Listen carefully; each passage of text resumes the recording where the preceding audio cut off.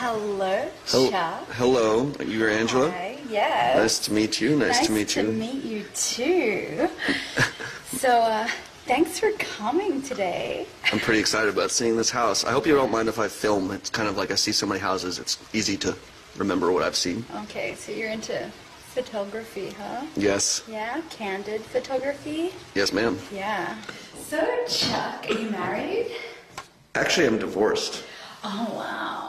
Yeah. Divorced, huh? So you're a player. Y- yeah. Get it. No, no. Well, Yeah. So uh, your wife was she into photography?